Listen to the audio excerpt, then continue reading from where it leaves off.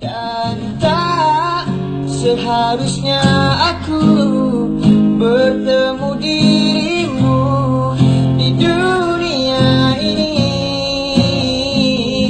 Dan kau membuang diri